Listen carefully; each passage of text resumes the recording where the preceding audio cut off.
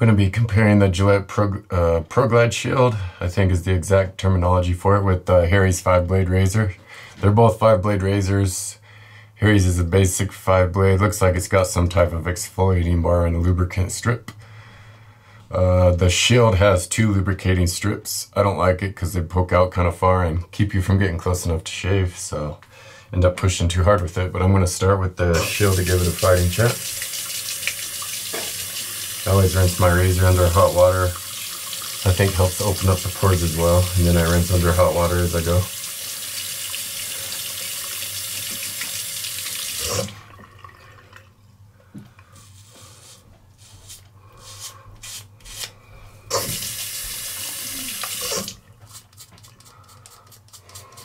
Oh.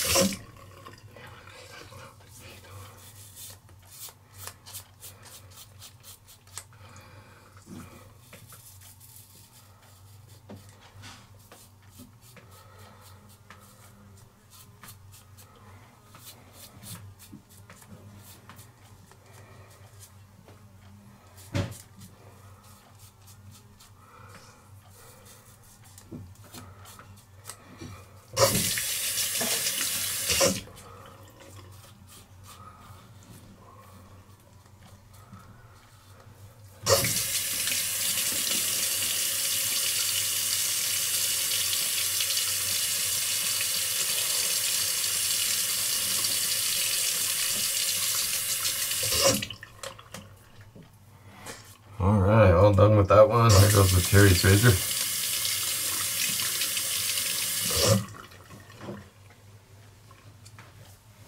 You use the restroom? No.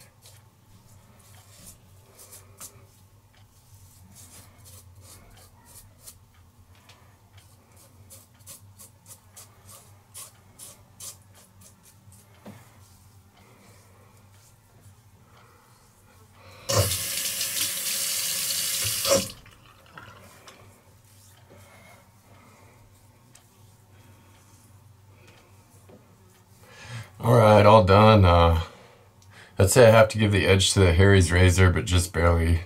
It was surprisingly pretty even. I got a little closer shave with the shield this time, so maybe you just have to break it in when you first get it. But um, I don't know. It still doesn't get close enough for me. I wouldn't get the shield unless you have skin issues or really bad acne or get skin bumps or skin irritation from shaving really easy. So still give the Harry's five blade razor the edge just barely.